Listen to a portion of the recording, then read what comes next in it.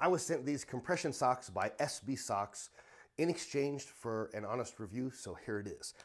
These things are really cool. I think um, I've been I wear compression socks every time that I travel. So for my job, like my normal job, I fly almost every single week, and sometimes I'm on the plane for up to 10 hours. So whenever I travel like that, I started wearing compression socks because when I didn't wear them, when I would arrive to where I was at, I'd be super tired.